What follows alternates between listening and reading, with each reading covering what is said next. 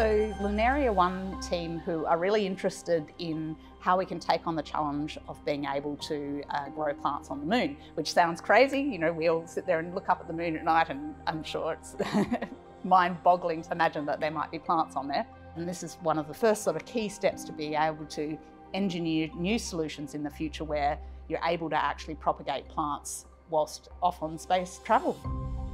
Some of the innovations that have inspired our team were actually innovations that were conceived by researchers facing the challenge of how to sustain life when you go into space. So building from that, we're also working towards generating technologies that have spin-off applications both on Earth and in space in relation to how you can actually manage food and water resources and support life in extraordinarily challenging environments. It sort of really does your mind in thinking about like how would you actually achieve something that's that's quite crazy. I mean, you know, it's feasible, it's possible, but really understanding what factors you have to take into account and what are going to be the big roadblocks and how you can engineer your way through those roadblocks is an exciting process. Our team are working on being able to engineer the crops of the future.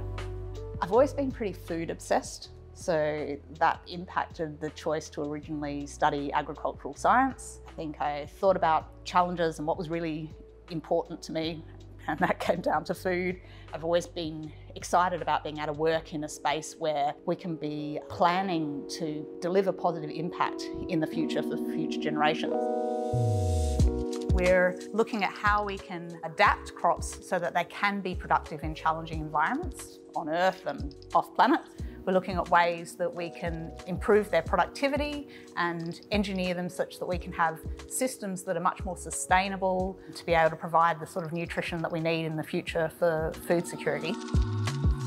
So the mechanisms that we're studying are so small that they, you can't actually see them to the naked eye.